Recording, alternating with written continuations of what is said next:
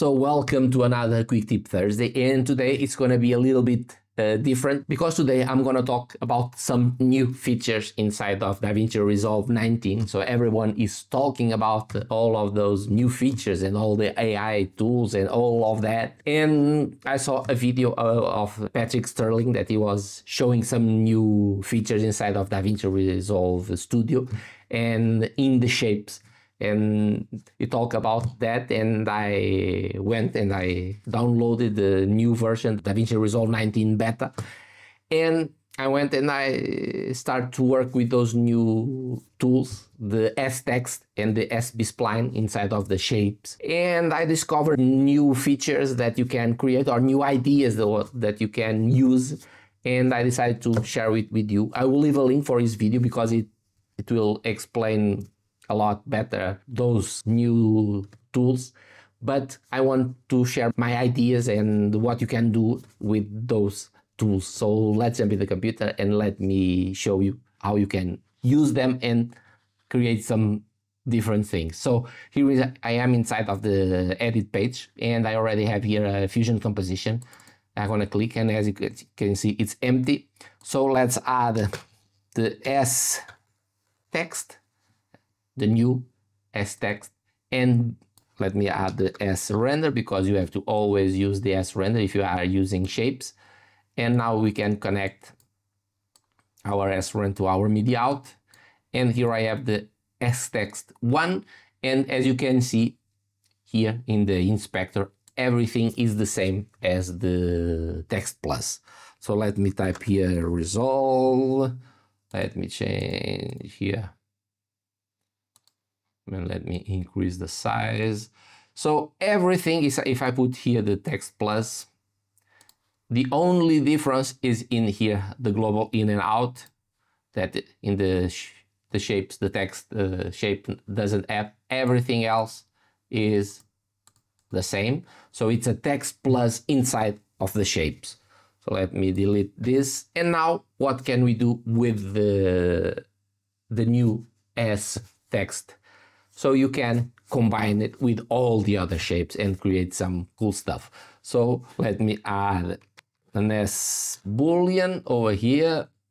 And I'm gonna add also an S rectangle and I'm gonna connect it. So now I'm gonna select the S boolean and I'm gonna come here it, instead of intersection I'm gonna use subtract and immediately it will subtract the letters from the shape the S rectangle. So we can create our text uh, cut inside of a shape. And also you can use this to convert this to a 3D object. So it's very easy. Let's me add here a render 3D let's add here merge 3D let's connect it to over here. Let's add a camera and a spotlight.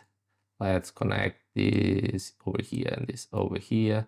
Let me connect this over here, remove this one. Let's delete this. After this, I want an extruded 3D, add it and connect it to over here.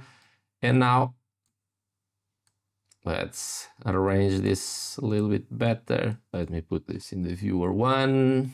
So let's go to the camera let's move the camera back. Let's go to the light. And let's move the light back. Let's go to the render and enable lighting shadows and, and hardware render. And as you can see we have here this is it's still in 2d and has come to the extrude and add some depth. And immediately you will see uh, that this is in 3D. If I come here to the extrude 3D to the transform, for example, and rotate it a little bit, you can see immediately that we have our text carved in the rectangle. So this is an idea of what you can do, but let's delete all of this and start the S render. And let's connect our S render to here. And instead of this, you can come here and instead of subtract, put union and come here to the rectangle and you can offset it a little bit down. And now let me put it like this and let me hide. You can add it like this and now you have just one object here that you can use and you can move it if you after this one uh, add a transform over here. Now it's only one object that you can move. So this is some idea and let me move this here and let's add the new the other new tool the SB spline and here it is. And the SB spline is great because now you can create your own.